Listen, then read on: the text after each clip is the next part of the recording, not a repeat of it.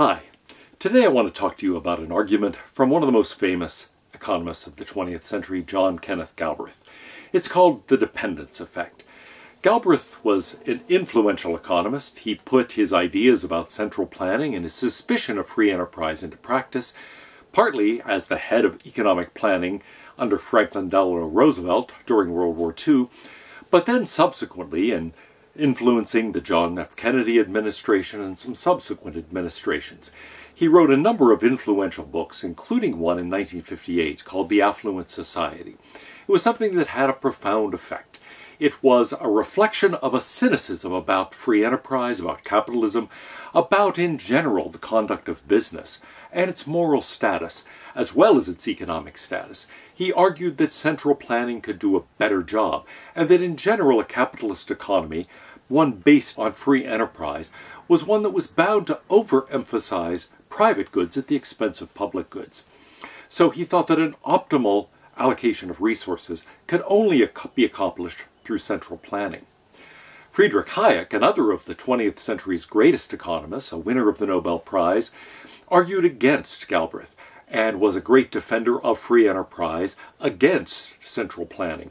In fact, his most famous book is probably The Road to Serfdom, published just after World War II, in which he argued that the central planning that was involved in conducting a war was completely inappropriate to civilian life and to the conduct of government generally. That free enterprise economies do a much better job of allocating resources, producing prosperity, and maintaining political freedom than any alternative. We're going to be looking at that debate, and I want to start by analyzing and laying out what I think is Galbraith's argument. Then we'll consider a variety of criticisms of it, most of them stemming from Hayek. But right now, I want to think about Galbraith's argument itself. Let's do it by beginning with the basic argument in favor of a free enterprise economy. It's a simple argument. It really says people make free economic exchanges in order to improve their position. That is to say, two people make a trade of goods, services, money, whatever is of value, because each thinks that the trade will make that person better off. So, for example, let's say I am hungry, I'm willing to spend $2 to get a taco. I'm doing that because I think I'll be better off with the taco than with the $2. The person selling the taco to me thinks they'll be better off with the $2 than with the taco. And so we each improve our situation by making the trade. I'm happier because now I have the taco. That person's happier because he now has the $2. And so we both improve. In other words, the situation is that free economic exchanges improve the welfare of both parties. And so we can expect a free enterprise economy to, in general, lift people's welfare. We each enter into these exchanges thinking it's going to improve our welfare, and in general it does. Now, of course, there can be exceptions. And so everyone agrees that there are some times when I make these economic exchanges and it doesn't turn out to be something that actually benefits me. What about the cases where I do actually enter into the exchange thinking it's going to make me better off and it turns out not to make me better off? Sometimes I'm simply making a mistake. So I buy that car thinking it's going to serve my needs well, turns out to be a lemon and it doesn't meet my needs well at all. Or I think this product is going to do what I need it to do, Turns out it doesn't really do it, it does something else. Maybe it does it well, but in any case it doesn't solve the problem that I had. Maybe I buy that taco and then I find out, oh, it's not even very good. Or maybe I simply am confused about what it is I really want. And so I think I want that, and then I taste it, and it's like, no, that's not really what I wanted. Maybe there are some kind of products that routinely do this cotton candy maybe. Looks very attractive. The first taste is delightful. By the time you eat much of it, you think, oh, this isn't very satisfying. Why did I do this? And maybe there's some other things like that as well. So, in short, yeah, sometimes you just make a mistake. You think something's going to satisfy you in the short term, and it really does not. Of course, other times you have damaging desires. You think that something is going to satisfy you in the short term, and it does, but it has serious long-term consequences.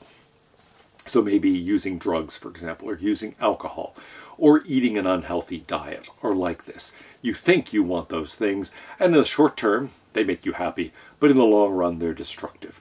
And that kind of thing can happen too. Our desires can diverge from our interests, especially our long-term interests, and we can choose things that in the end are not good for us. We've talked a lot about problems of weakness of will and the fact that you can give in to temptation in these cases, but of course it's not always just a question of temptation. You can do things without being aware that this short-term pleasure is actually going to have some serious long-term consequences. It is striking to see how many characters in movies, for example, smoke when you look at a movie made before 1964. Before the Surgeon General produced that warning, most people did not think of smoking as something that had any long-term health consequences.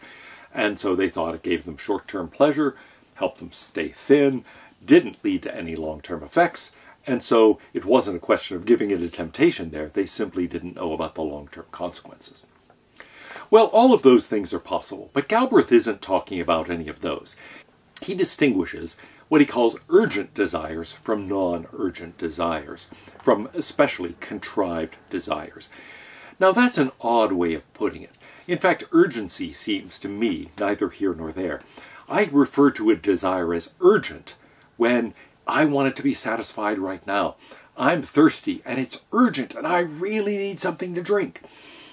But other times, we have a desire that may be very important to us. I would really like to, let's say, graduate, but it's not urgent. It's not like, yeah, look, I, I need to graduate this semester, and I, this is like, yeah, I'm a freshman. I eventually, of course, want to graduate. It's very important to me. But on the other hand, it's not an urgent desire. It's not like it's going to happen anytime soon. And so urgency is a question of time frame. That seems irrelevant to the question of how important a desire is. We have important desires that are not urgent. We have urgent desires that are not particularly important. So I think that's a mistake. We shouldn't talk in terms of urgency.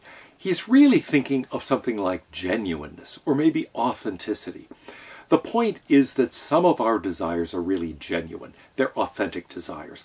Other desires are inauthentic. They're not genuine. They're in some sense artificial. And the basic idea behind Galbraith's argument and behind what he calls the dependence effect is that some of our desires, in fact typically the desires that people produce goods to meet in a free enterprise economy, are desires that are inauthentic. They are not genuine desires. They are contrived. We are manipulated into desiring various things, primarily through advertising. So here's the idea. If I have a genuine desire for something and I make an economic exchange thinking that I'm going to be better off as a result of satisfying that desire, well, as we've said, I might be making a mistake. There might be long-term consequences, but ordinarily, yes, that's going to make me better off if the desire is genuine. But what if it's not really an authentic desire? What if I've been manipulated into it? What if somebody's been pressuring me saying, you want this, don't you? Don't you want that? Don't you want that? And I finally said, yeah, okay, I guess I want that. That Then you might say, I can't expect to be better off as a result of that. It might be that I'm not going to be better off at all. In fact, you might say the general assumption that normally I will be better off no longer applies if the desire is not a genuine desire, if it's not an authentic desire. It's in some way the result of contrivance or manipulation or something of that kind. And it's a plausible thought. The dependence effect is this. Some of our wants, some of our desires depend on production. They aren't desires that people then produce products to meet. They are desires generated by the products themselves and by the people who are selling those products. So the image is roughly that consumers are being manipulated by companies. They're being manipulated by business into forming desires for their products. Those desires aren't genuine, they aren't authentic. We can't expect that satisfying them is going to actually make people happy. They're not going to be satisfied. It's not going to improve their welfare because they're being manipulated into having those desires in the first place. Well, there is some plausibility to the thought. If we look at the details of Galbraith's argument, I think it becomes harder to see exactly what's going on. But I think that's the core idea. Sometimes, at least, and he thinks typically, people are being manipulated to desire what they desire. And so in cases like that, there's no reason to think that their satisfaction of that desire is in fact going to prove satisfying to them, even in the short term. It's going to turn out to be unsatisfying, and if anything, encourage a craving for more inauthentic desires to be satisfied. And so he thinks in general, satisfying desires like that is not going to improve people's welfare, or at least it's not going to improve people's welfare as much as fulfilling genuine desires does. And then he thinks that the provision of public goods in general satisfies genuine desires to a greater degree than private goods do.